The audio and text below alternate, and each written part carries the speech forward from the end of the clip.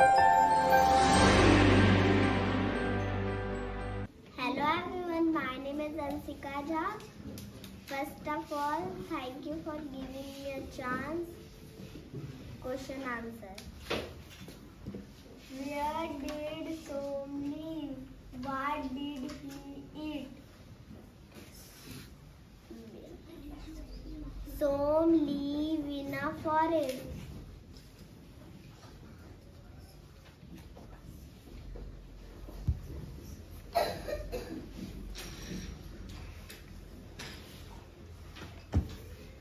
You don't know?